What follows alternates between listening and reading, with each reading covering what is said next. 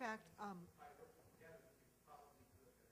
Lenny, can you elaborate a little bit about what Valley College does um, to help, let's say, the unemployed um, learn new skills and return to the job market?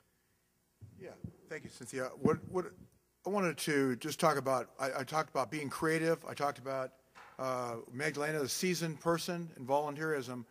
Um, and, and Cynthia was a recipient of this too. We came up with this program called LA Fellows. We're getting a lot of people that are unemployed managers, and, and I think Greg alluded to this also, that have skill sets that are unemployed and they're not, if you looked at Dr. Blank's uh, comments this morning, is they're not getting a job from six to 12 months. If you go unemployed, it's, it's six, 12 months before you're getting a job. So what are these people doing? Sitting back and doing nothing, and they have a lot of skill sets. We started this program, and Dr. Carleo is our president of Los Angeles Valley College, and she was instrumental. We even took some words of encouragement from Marty Cooper, who has a wealth of knowledge, and it was very helpful in giving us some advice in, in uh, getting a program for individuals that have skill sets and we put 140 hours of training, mostly soft skills, resume writing, interview skills, and how to interview in this new job market with social media and things like that. And then they have to apply, they have to interview and be accepted. It's called LA Fellows. And then what's different about it is they have to give 100 hours of volunteerism to a nonprofit.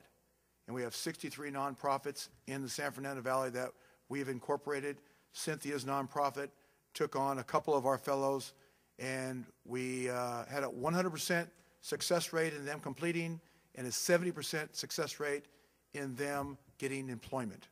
So, and, and in dollars and cents, that was an in-kind contribution to our local economy of about $350,000.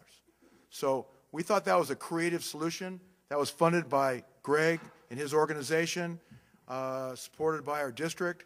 So we, uh, we think that's a way. What people are doing is they want to experience a worker before they hire them. I think there's a lot of people that are nervous. They go to uh, agencies, which is great. You know, Manpower does an excellent job, and all the other agencies. The businesses want to date before they get married, a little bit, if you want. So by experiencing this volunteer, as Greg said, he's got five in his office. Uh, those, those weren't fellows, but we're going to make them fellows pretty soon. And, and those people, you get experience what they are as a worker, not from a resume in an interview. And we've had success. And I'd like to um, give kudos to this program. In many nonprofit businesses, we're really mission driven, and the infrastructure is almost like a stepchild. So to have IT professionals and HR professionals come and do their 100 hours with us inspires our staff, and our staff learn new skills also. It's really a fabulous program. Thank you so much. Yes, sir.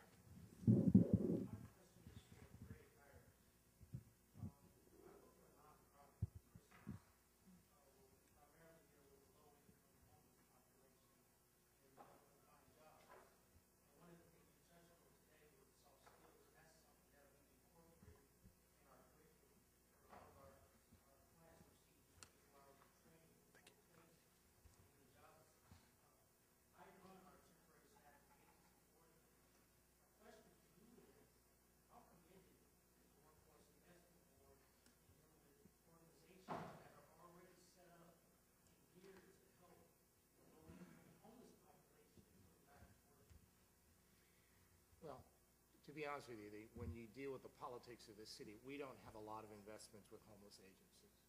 You know, I'll, I'll be totally honest with you. We are in discussions now as to uh, how we can we can rectify that situation. Specifically downtown, I took a tour recently with the mayor downtown, and interestingly enough, when you look at the folks downtown and who's who's unemployed, uh, we have to do something about it. So we're in discussions right now. Uh, but to talk about one of the mechanisms that would work for you, and also something that, that Lenny and Magdalena can elaborate on, and maybe the employers don't know this, but one of the services we offer is for you to actually recruit through our system. And when you get an employee, you don't have to hire that employee immediately. We will pay in what is called an on-the-job training arrangement fifty percent of the wage for six months. If that person works out, our expectation is that you'd hire that individual. If that person doesn't work out, well, we, we understand, you're not obligated to do it. It is not one of those things where we're asking you to be benevolent, because you get to select a person, we don't give you a person. But we pay fifty percent of the wage if you train that person on site. And then if that person happens to meet your expectations, then our expectation is that you will also hire that person. What better deal could you get? So before you leave, make sure you talk to Magdalena, and also that would help with you as well. If you have employers that are willing to hire your customers, that fifty percent arrangement in terms of wages uh, is usually an incentive for an employer to hire.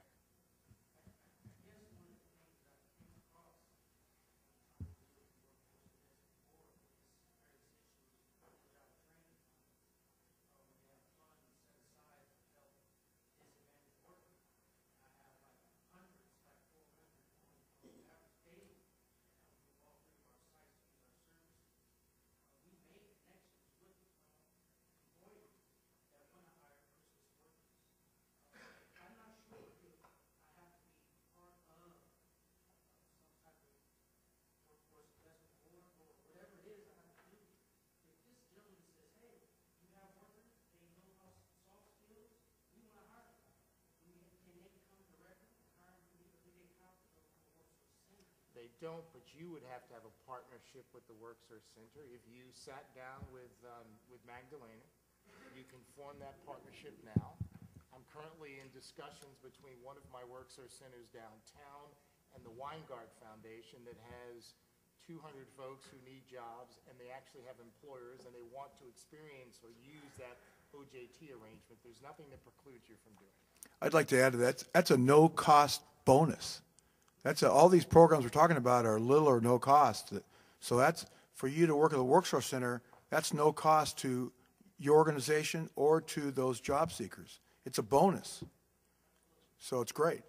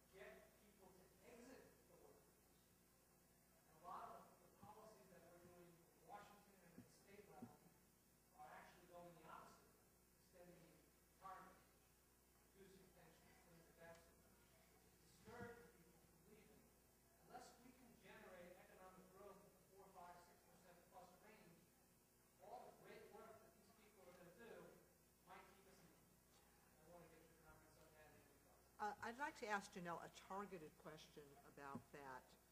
What sectors are growing, and really, where should people be training and looking? Um, Specifically in the LA area, uh, we have seen a huge increase in the healthcare sector. Um, I think a lot of that is being driven by the fact that healthcare agencies are having to switch to um, electronic filing, electronic record keeping.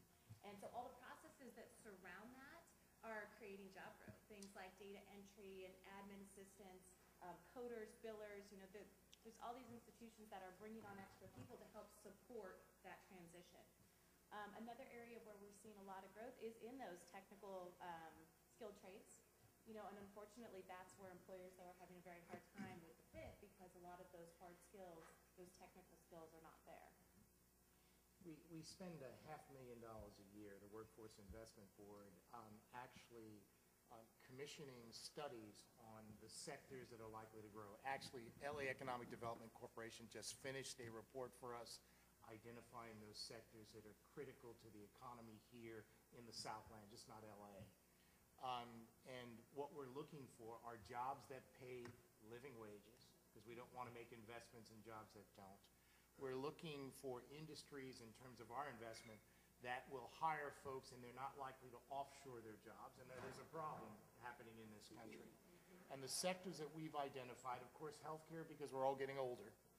Logistics and transportation, forty-five percent of all product coming in from the Pacific Rim comes through our ports. The city's port and, of course, Long Beach's port. So logistics and transportation is a growth sector. Hospitality, we've always relied on, uh, one of the biggest industries within this region.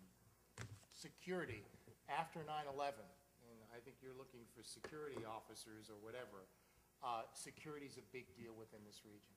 But if anyone's interested in some of those studies, we have them. Those studies are used to gauge what our approach will be in terms of our investments in workforce development. They're also used by the mayor to ascertain or determine where the investments will be in city investments and how we should invest in business growth, et cetera, within the city of Los Angeles. Yes, Mr. Washburn? Thank you, Senator Gary Washburn. Uh, I went to Fresno State undergraduate, Boston University Graduate School, Bridgewater. My son now is a senior IC technician at National University, not, not, Phoenix, uh, years not, uh, He spends half his time on the road installing sites all across the United States. They're not little sites, they're just one in the street, or mall, or store, maintenance. So my question to you is, uh, I felt like I got a real relationship class listen. But now, now, what's the next day between online education and brick and mortar? What's up with that, Dan? Well, I'll throw my two cents in. There may be others that can express uh, perhaps more knowledgeably about the online. Online is, is just not for everybody. Uh, in our experience, and we, we've gone back and forth with a couple of different type, blended type programs with online and brick and mortar.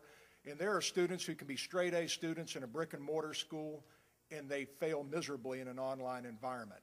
Uh, Having said that, the online environment has progressed dr- dram- dramatically. Uh, Our electronics technicians, for example, associate and bachelor level, most of that work is done in a virtual world. And it's amazing. Our, our, our employers will come to us and they'll sit down on our program advisory committees and they'll say, show us how you've taught these, these students, these graduates that we've hired. And we'll show them the, the virtual electronic world that we teach them in. And they, it's just amazing to them. They said that, that graduate came to us, we put them on the assembly line, and they were proficient from day one, yet they never really touched a breadboard or a wire. It was all virtual. So you can do tremendous things in that type of an environment, an online environment, but it certainly is not for everyone.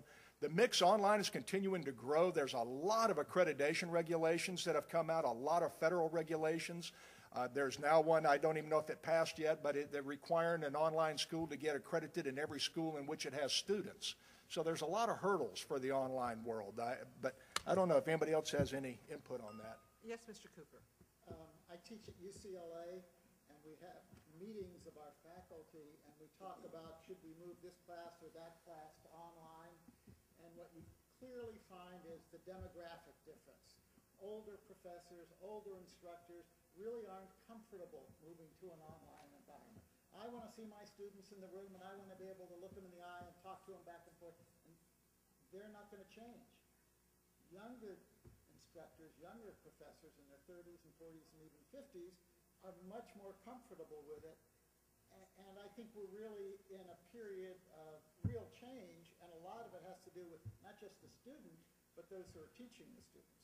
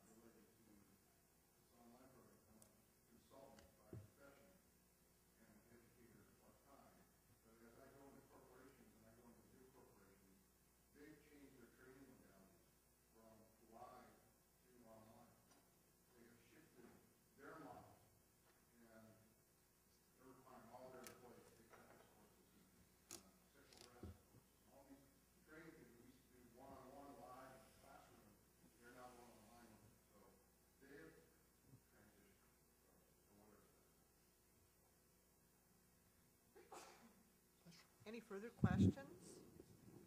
Um, I have a few general questions um, for any of the panelists. How can California continue to compete if we do not fund primary education for the next generation of workers? Wow.